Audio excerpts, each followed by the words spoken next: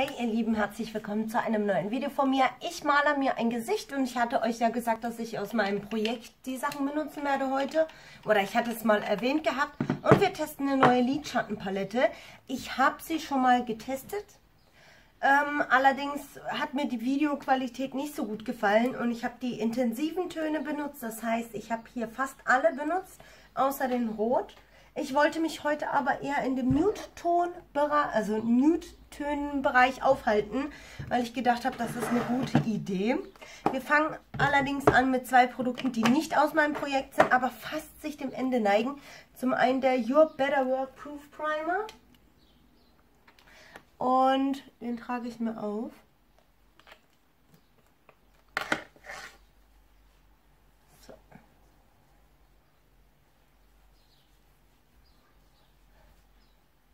Den finde ich ja, wie gesagt, spitze und ich habe noch ein Backup. Und bevor ich das andere jetzt anfange zu benutzen aus meinem Projekt, möchte ich das hier einfach ehrgeizig leeren. Ich weiß, weil man Projekte macht. Deswegen kommen auch keine Schminkkörbchen gerade. Zum einen bin ich wirklich in der Sommerpause. Es ist manchmal so heiß, dass ich mich eben nicht schminke oder auch gar keinen Bock dazu habe, so zu schwitzen. Deswegen ähm, schminke ich mich nicht und ja, macht das Sinn? Ja, macht auf jeden Fall Sinn, denke ich. Und ich habe kein Tuch. Ich benutze jetzt einfach mal die Denk mit Reinigungstücher für die Oberflächen. Für meine Hände. Ich hasse es. Ich hasse es, wenn meine Hände so voll sind. Ähm, ja. Und das lasse ich mal kurz einwirken. Da ist auch ein Lichtschutzfaktor von 20 drin. Und ich finde das ganz in Ordnung. Ich muss sagen, man braucht eigentlich gar nicht so viel, wie ich jetzt gerade benutzt habe. Wenn man aber, wenn man die 20 äh, plus äh, oder 20 Lichtschutzfaktor 20 erreichen möchte, dann braucht man schon den vollen. Da ist mein Freund.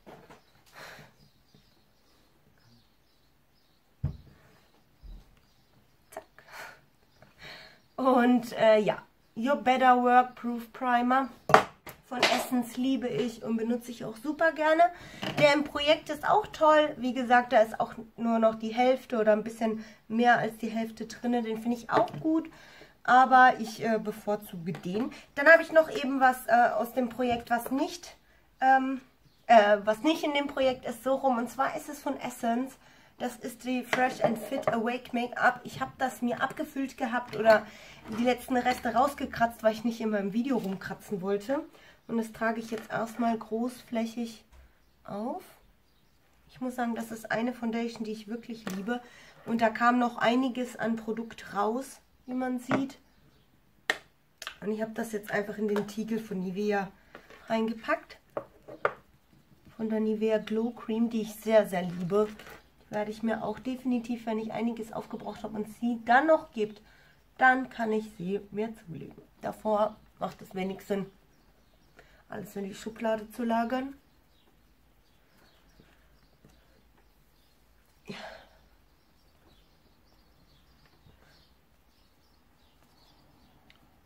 Ich muss sagen, sie macht wirklich einen richtig tollen Effekt. Ich muss sagen, die Dior Air Foundation gefällt mir noch einen Ticken besser, weil sie sich einfach so schön auf die Haut äh, legt und sich gut verbindet.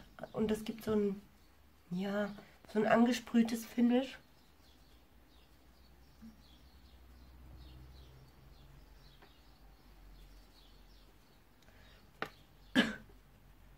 Ich liebe diese Foundation einfach. Davon habe ich auch noch ein paar, von daher selbst wenn ich keine davon hätte, würde ich sie mir nicht nachkaufen. Ich würde erstmal gucken, was ich alles daheim habe. Hm, ich ein Hexenhaar wieder. So, ich hole den Concealer, den ich ähm, vergessen habe. So, ich habe den Concealer von L'Oreal jetzt 24 Stunden offen gehabt, damit er einfach ausdünsten kann. Dann wird die Konsistenz etwas fester, damit ich ihn auch verwenden kann, weil ich finde ihn sonst einfach zu, zu flüssig. Ich glaube, ich habe ihn sogar einen Tag länger offen gehabt. Und ich mag einfach die Konsistenz, wenn sie etwas zwischen äh, flüssig und etwas fester ist. Lieber. So. Heute will mein Make-up nicht sich so richtig mit der Haut verbinden. Ich habe hier so Babyhaare.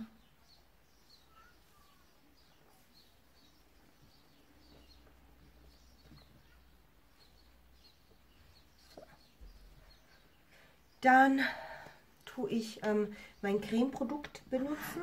Und zwar ist das dieser Creme, Creme Stick von Essence.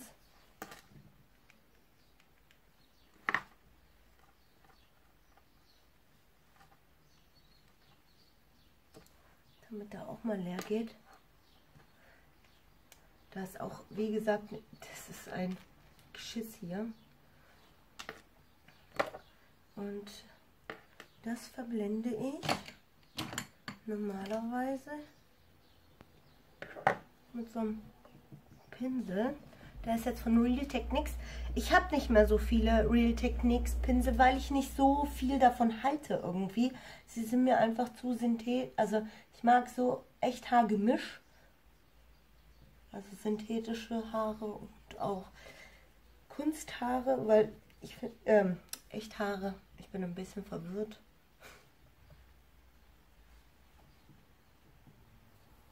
So.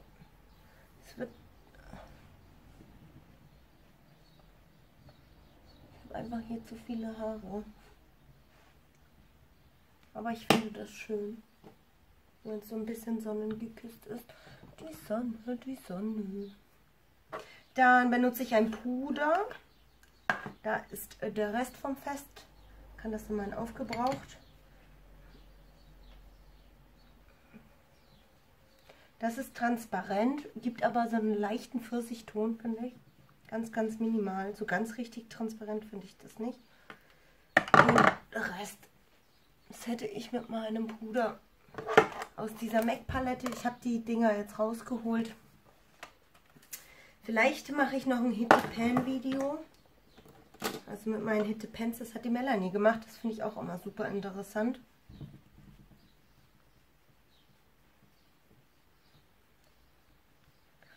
Brauche ein bisschen Videomaterial, wenn ich nicht da bin.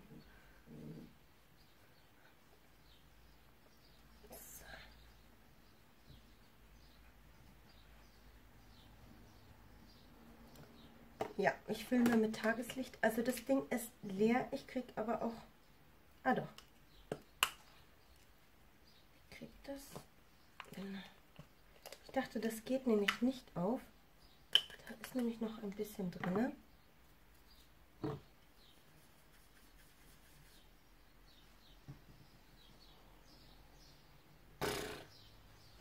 Das ist so fein, das staubt jetzt echt in der Gegend rum.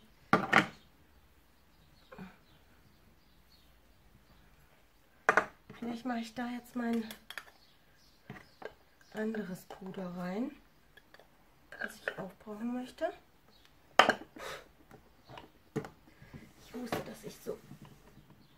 Ich hasse loses Puder. Das fliegt eigentlich immer nur in der Landschaft rum. Dann benutze ich mein Blush, was auch im Projekt ist. Aber ich benutze es auch so täglich, weil ich es einfach schön finde. Wie gesagt, ich brauche eigentlich keine 20.000 Blushes in der Sammlung haben. Ich brauche definitiv ein Fixierungspuder. Ich hoffe, ihr seht nicht, wie cakey ich eigentlich aussehe durch dieses Puder wie sich das auf die Haare gelegt hat.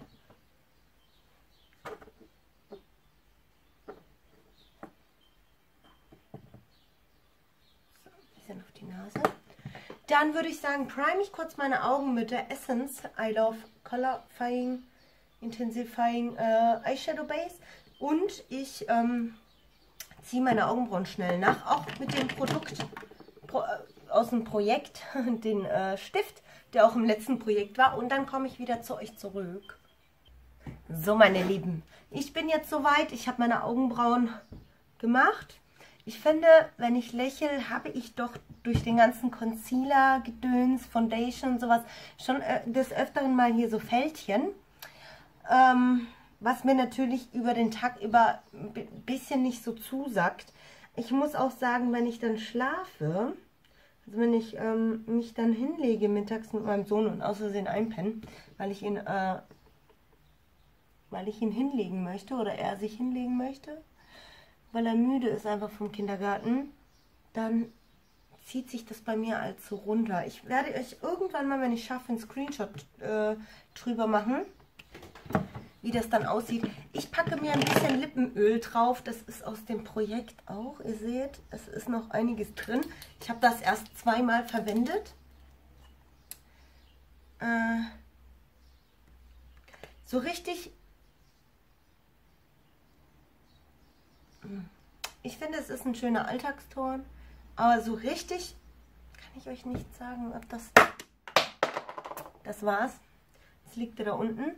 Wir fangen an mit der Palette zu arbeiten. Life is a Dark von äh, Luna Beauty. So sieht das Ganze aus. Und so sieht es von außen. Ich muss sagen, die Verpackung ist cool. Mir hätte das besser gefallen, wenn es ein bisschen schmäler ist. Also ich finde, das ist oftmals viel zu lang und oftmals viel zu dick. Die Paletten, die können sie auch schön verpacken. Also hätten die das jetzt hier abgeschnitten und hätten einfach ähm, den Pinsel weggelassen, wäre es trotzdem eine wundervolle Palette gewesen. Aber gut, man kann halt nicht alles im Leben haben, würde ich sagen. Wir fangen an mit dem mittelbraunen Ton. Ich gucke mal, ob da noch Produkt drauf ist. Ich benutze meinen uralten Sigma-Pinsel. Der ist schon zehn Jahre alt ähm, so ungefähr neuneinhalb, würde ich sagen. Man, ja, doch nur zehn. Meine Tochter war ungefähr ein Jahr oder so neun Monate, als ich den gekauft hatte, dieses Pinselset. Das war mein erstes hochwertiges Pinselset und ich habe es geliebt. Und ich habe es niemandem gegeben, um sich zu schminken, nur besonderen Menschen. Ähm, ich gehe in den mittelbraunen Ton und trage mir das jetzt mal in der Lidfalte auf und eigentlich mehr darüber hinaus. Ich habe mein Lied jetzt nicht gesettet, weil wir jetzt mit Brauntönen arbeiten. Und die wahrscheinlich eh nicht ganz so intensiv sind. Wunderschön. Wunderschöner mittelbrauner Ton. Ich kriege auch mittlerweile auf den Augenlidern Sommersprossen. Aber ich denke, weil da kein Sonnenschutz drauf ist, mir drehen nämlich unheimlich die Augen, wenn ich Sonnenschutz in die Nähe auftrage. Also ich spare mir dann immer diesen Bereich aus.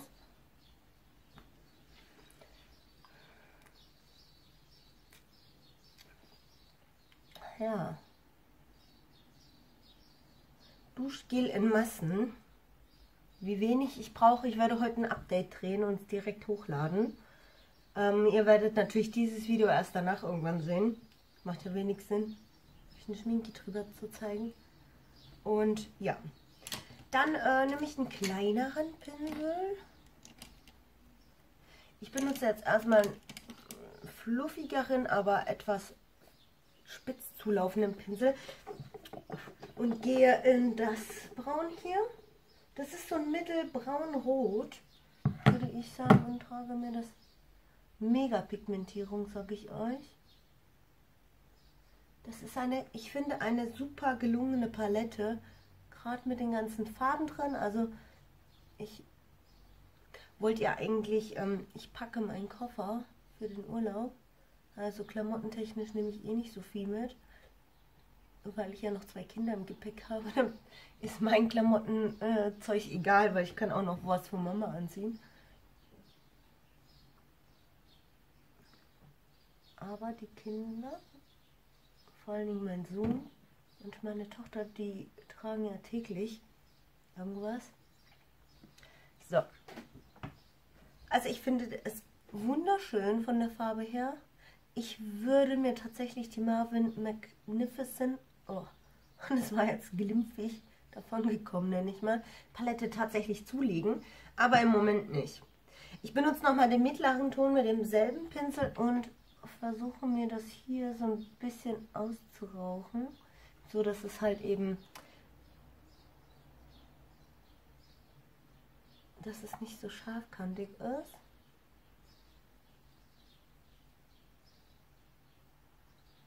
So. Ähm, ein 228 von zu Eva und benutze wieder den mittleren Braun, also nicht den mittleren, sondern den dunkelbraunen Ton und verblende mir das hier.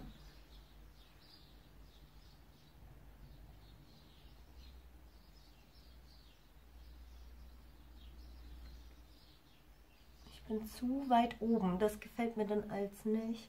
Wenn ich zu weit an der Augenbrauen hier arbeite, das finde ich nicht schön bei mir. Das drückt dann alles nur so. So. Genau, okay. Dann benutze ich einen kleineren Pinsel. Das ist die 231 und gehe in den weißen Ton rein und trage mir den in den Innenwinkel auf. Weißes finde ich auch immer schwierig zu produzieren. Also oftmals kriegen die Leute das einfach nicht hin, die die Paletten rausbringen, ein sattes weißes Schwarz hinzubekommen. Aber ich finde, weiß wird ganz oft bei so Dark, Dra Drake, Dark, Dark, Dark Make-up benutzt. Und von daher, ja, hält meine Lider schön auf. Und dann gehe ich, glaube ich, in den, ist der dunkler? Ich würde sagen, er ist halt einfach kühler von den Farben her. Das sieht man. Ich habe jetzt bisher das Weiß hier benutzt, das Mittelbraun, das hier und jetzt bin ich da rein und trage mir das jetzt hier so ein bisschen kühler halt auf.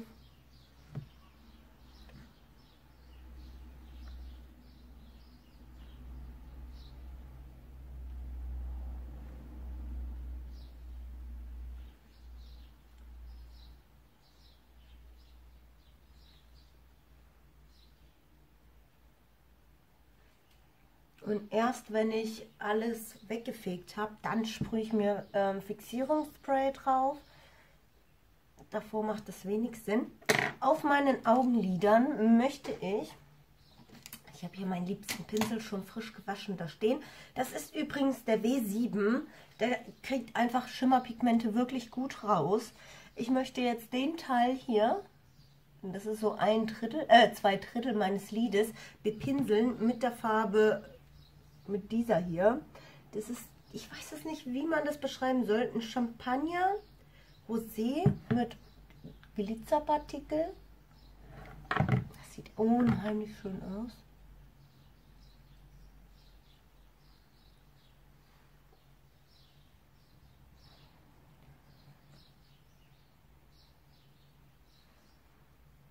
Meine Waschmaschine hat wieder so gemüffelt, ne?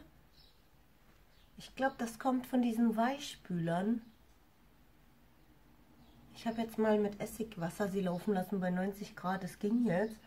Ich hoffe, die Wäsche duftet wieder gut, weil je öfter ich sogar Wasch Weichspüler reinmache, je ekliger wird das. So. Ich muss sagen, es ist ein wunderschöner Alltagslook, der irgendwie ein bisschen schmierig ist.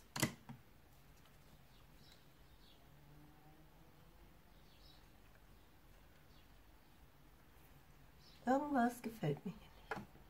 Vielleicht ist es auch die Ausblendung. Ich nehme komplett frischen Pinsel. Ich hasse es, so viele Pinsel für einen Look zu benutzen. Ich gehe nochmal in den hellen, in den Weißton rein und setze mir so ein bisschen unter die Augenbrauen, damit das so ein bisschen aufgehüllt wird.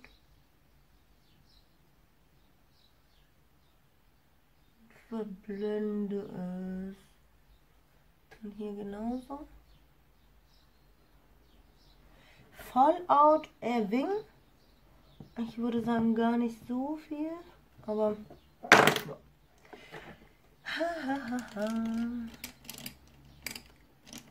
Dann möchte ich so ein bisschen meinen Wimpernkranz verdichten. Und zwar benutze ich diesen Pinsel hier. Da gehe ich in den schwarzen Ton rein.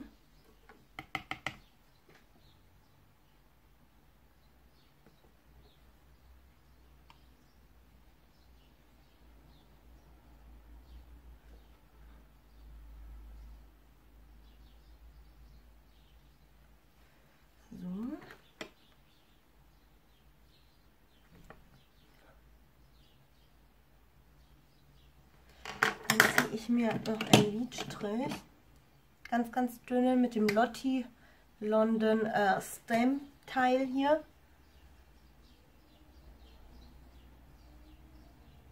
So am Wimpernkranz entlang.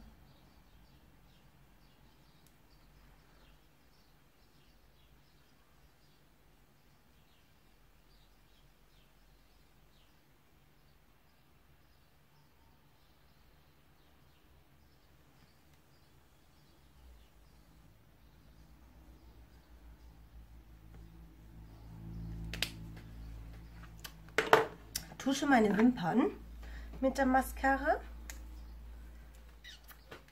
Dieser Lipgloss äh, setzt sich halt an den Hautstellen so komisch ab. Mach mal kurz die Palette zu. Dann kann ich ein kurzes äh, Review geben, weil ich es ja schon zwei, dreimal benutzt habe. Ich bin mir nicht sicher, ob ich schon davor benutzt habe oder nicht.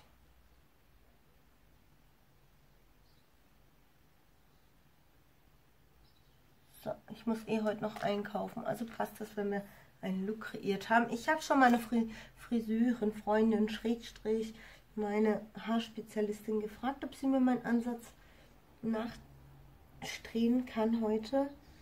Hm, ungern so in den Urlaub fahren, aber wenn sie halt keine Zeit hat, dann bleibt das halt so, bevor ich wieder irgendein Experiment mache und das eh in die Tonne geht. Und Friseur kann ich mir derzeitig nicht leisten. Finde es einfach abnormal, wie teuer das ist. Natürlich ist es die Arbeit wert, aber ich persönlich kann es mir im Moment nicht gönnen, zum Friseur zu gehen.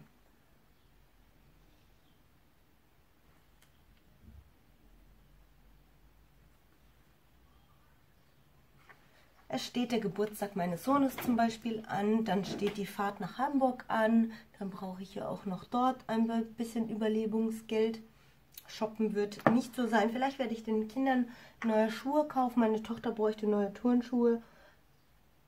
Sie hat ein paar letztes Jahr zu Weihnachten bekommen und das hat sie ja nicht benutzt. Dann hat sie jetzt zu Ostern welche bekommen. Die trägt sie gerne. Das sind Adidas.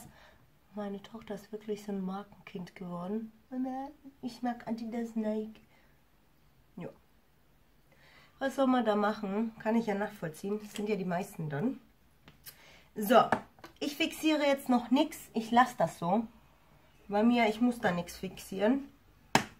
Ich fege mir den Schrott hier weg, der runtergefallen ist. Highlighter habe ich derzeitig äh, das hier in Verwendung. Das ist von Models Own und ich benutze den rosigen. Sehr, sehr cremig. Und ich versuche das mir hier so wie so eine Art Blush drüber zu geben. Blush, Highlighter, so alles in einem.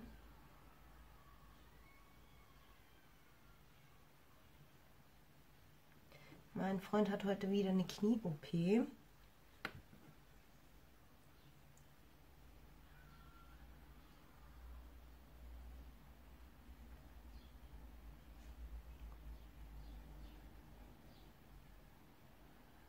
So.